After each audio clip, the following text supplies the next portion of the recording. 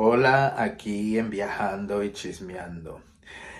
Bueno, pues nada, empezamos eh, ofreciéndote mi canal, si te gusta el contenido, si te gusta esta pequeña familia que aquí vamos construyendo pasito a pasito, entre chismes y viajecitos, pues te puedes suscribir, puedes participar siempre, seas suscriptor o no, puedes eh, comentar, darle un like y sobre todo también puedes compartirlo, ¿no? Y los comentarios, pues, aunque estés a favor o en contra de lo que yo comento, siempre que tú comentes es participar, simplemente con respeto, ¿no? Bueno, pero eh, estoy pidiendo respeto a, como quien dice, a los que pasan por mi canal, pero es que realmente em, no sé si sea coherente con todo lo que vamos a hablar. El contenido de, este vídeo es sobre lo que todo el mundo, y ahora sí lo vamos a decir completico, está hablando, ¿no? Que es sobre Leticia Ortiz. Y básicamente por los últimos acontecimientos o los últimos o las últimas novedades, ¿no? No es como quien dice, yo pienso que para muchísima parte de la ciudadanía española esto no es una sorpresa, porque desde que ya eh, el príncipe en aquellos tiempos eh, proclama un noviazgo con una persona de la que ni se sabía que existía, ya todo fue muy extraño, ¿no? Pero mm, pienso que también estábamos conscientes en esos tiempos que algo parecido tenía que suceder. Porque para las personas que no, ¿cómo se dice? Mm, que no siguen mucho el tema de la monarquía, bueno, yo no es que me guste, no soy de este tipo de personas. Realmente lo que sí me estoy haciendo eco de muchas noticias y evidentemente pues toca decirlo, ¿no? Ah, porque de una u otra manera pues somos, eh, como se dice, em, un poco víctimas de este tipo de instituciones, porque que a la señora Leticia Ortiz le salga amante cada dos por tres, em, quizás muchos harán el, oh, pero si te pones a pensar un poco antes de hacer el oh, igual no debes de hacerlo.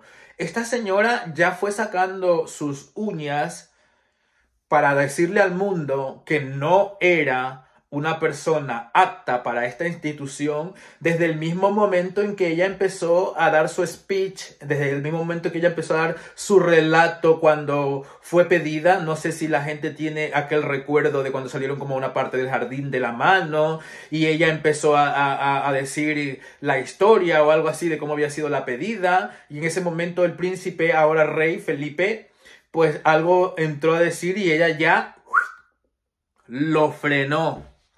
Lo frenó y lo ridiculizó. Evidentemente, la gente, que eso es una de las cosas que no se entiende, o sea, ¿por qué la gente se fascina por, un, por este tipo de personas eh, tanto que no dan a... ¿cómo se dice? No se dan la oportunidad ni tan siquiera de opinar. O sea, tienen miedo, la gente tiene miedo con este tipo de situaciones. Bueno, no es para menos. Siempre se ha sabido que la monarquía se encarga de cerrar las bocas, se encarga de quitar todo lo, que dice las cosas que, te, que les molestan en su camino y básicamente desaparecer cualquier cosita que no les guste. Yo sinceramente, mediante este sistema, mediante esta plataforma, me siento muy libre para opinar, me siento totalmente libre para decir lo que pienso y pues bueno, si un día dejo de hacer esto, eh, será porque me habrán mandado a callar.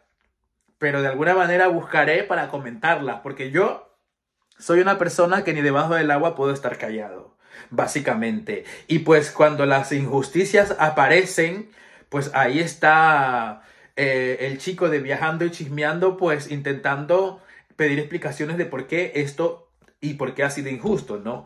Pues bueno, y sin liarnos tanto, vamos a entrar al detalle de que muchas personas, o sea, he escuchado a algunas personas que trabajan aquí, que comentan aquí o que desempeñan su tiempo aquí en YouTube, pues un poco haciendo comparaciones, ¿no? Con esta señora que no la llamo otra cosa porque sinceramente yo pido respeto a los que comentan y yo también quiero respetar, pero vamos a ser sinceros, una comparación entre esta cosa de barrio y una señorita bien de casa es totalmente contraproducente y absurdo. Y no es que mm, me he quedado horrorizado de, de, algunos canales que hacen la comparación de esta mujer con, con la desaparecida Lady D, con el ángel Lady D.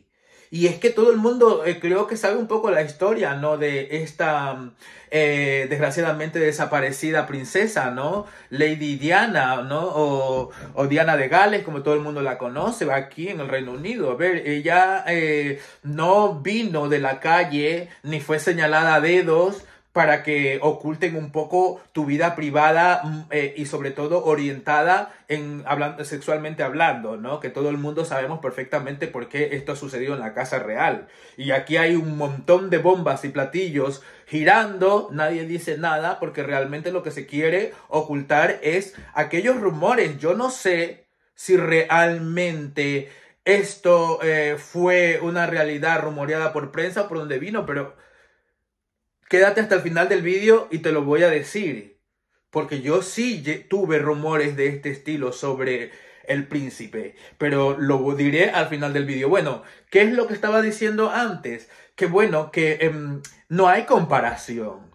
O sea, la, la princesa Diana de Gales en cuanto conoció a, a, este señor, a ella antes del matrimonio, y antes de ser pedida, ya ella estaba siendo un poco como Kate Middleton, ¿no?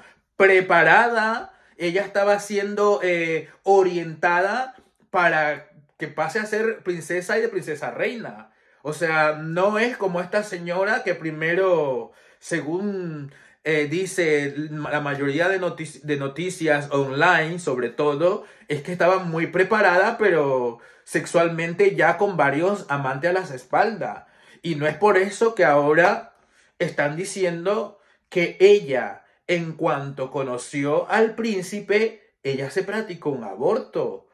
Entonces aquí está la situación, que se dice eso, pero no se va comentando exactamente de quién era ese aborto.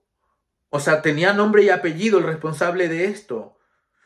Entonces, cómo van a hacer una comparación. Esto es la última novedad, el último acontecimiento que yo he escuchado de esta señora Ortiz, de esta consorte, ¿vale? Pero lo que quiero es hacer, eh, como quien dice, un llamado a la coherencia, ¿no? Y a la cordura. No tiene nada que ver, os lo puedo asegurar. Os puedo incluso mostrar, yo tengo mi libro de la princesa Diana así de grande, de 1100 no sé cuántas páginas. Eh, no lo he eh, terminado de leer absolutamente todo, porque la mayoría de situaciones ya las he escuchado. O sea, tanto en muchos, eh, ¿cómo se dice? Youtubers, en entrevistas que ella dio y cosas de esta y de eso va el libro. Pero vamos a entender que ahí también dice los principios de la princesa y los principios de la princesa no fueron los principios de esta señora Leticia Ortiz.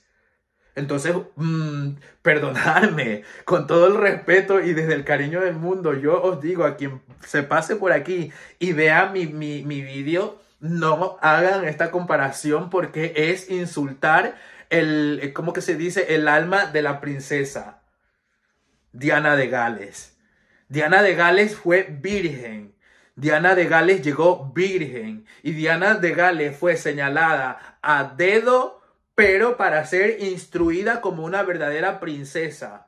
No fue señalada a dedo para cubrir situaciones privadas de un príncipe. ¿Ok? Vamos eh, entendiéndonos. Entonces las comparaciones son odiosas.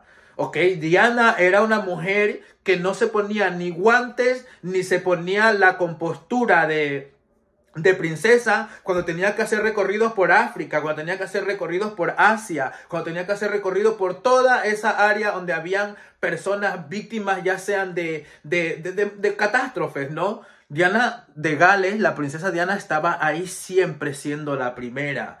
La princesa Diana de Gales dio la vuelta al mundo cuando ellas sin... Eh, como se dice vulgarmente, sin pitos ni flauta, visitó a muchos niños eh, poseedores del VH, ¿ok? Eh, el gen del, de la llamada SIDA y de la temerosa enfermedad. Ella fue la primera que tomó a un bebé con este, con este problema en su brazo y lo abrazó y no dio y rompió, como quien dice, ese protocolo o rompió ese sentimiento, ese cacao mental de muchísimos seres humanos que posiblemente hasta yo me incluyo, hemos quizás algún momento tenido de que si tocabas a alguien con la enfermedad ya estabas contagiado, ¿no? Entonces la princesa Diana no tuvo absolutamente nada en absoluto parecido a esta señora, solo, solo en que no sé si es tan parecido, bueno, porque sucedió en el matrimonio, más no porque sean las mismas direcciones, pero fue la princesa Diana la que fue la cuernuda. Y fue la princesa Diana la que tuvo por esa situación, ya que ella reaccionó sustraído sus hijos que pertenecían a la casa real.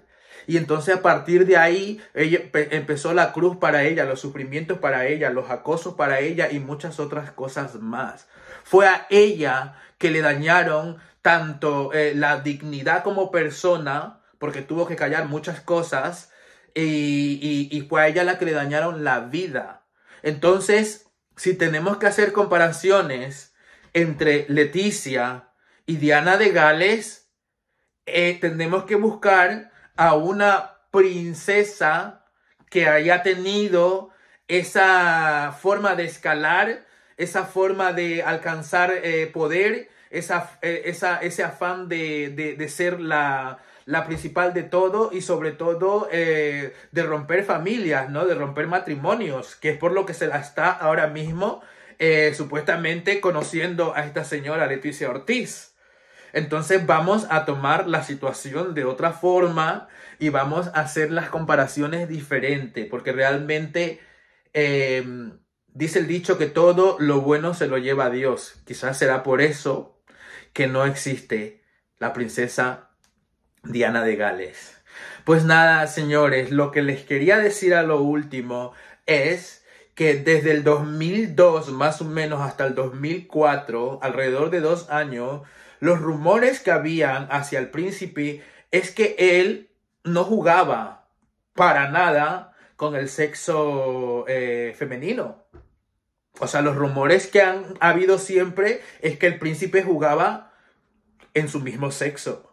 De ahí que hayan tenido que para no sacar esto al mundo, ya que se supone que un príncipe tiene que dejar descendencia a quien le cubra, pues hayan tenido que escoger a una señora a la que se someta, la que se responsabilice a tapar o a cubrir toda esta situación la que se responsabilice de dar descendencia para que siga la tradición y por supuestísimo la que se responsabilice un poco de ser la, la cara que cubra ese rumor que nunca se ha confirmado ni creo que se confirme de la orientación del príncipe ahora rey.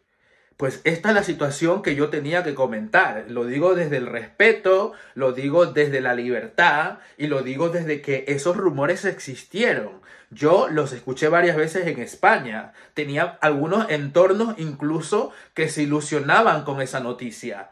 Pero, sin embargo, sabemos cuál es la tradición, sabemos cuál es la, la forma de esta institución y los reglamentos a cumplir. Y está claro pues que la que se comprometió posiblemente a tener este tipo de actitudes fue esta mujer y posiblemente por esa es la razón de que la casa real siga calladita. Porque posiblemente eh, ahí no solamente em, tenga que ocultar eso, tenga que ocultar mucho más y como la casa real diga algo en contra de esta mujer, pues simplemente ahí hay unos barullos, hay ahí un, ¿cómo se dice? Un negocio montado para que la cosa quede así poco a poco. Y la retirando a esta mujer por supuestamente tener su dignidad, primero que nada, rota y su imagen pues destrozada, ¿no? Y pues luego hacer el cambiazo con la infanta Leonor, ¿no? que es la que supuestamente, coincidencialmente, tiene la mayoría de edad y es a la que quieren ensarzar a que vaya cubriendo o poniendo em, basura informativa buena encima a la basura sucia de su madre, la reina Leticia Ortiz. Pues bueno, esto era lo último que quería decir. Sin más que alargar el vídeo, pues ya sabes, suscríbete, comenta y nos vemos en un próximo vídeo. Hasta luego.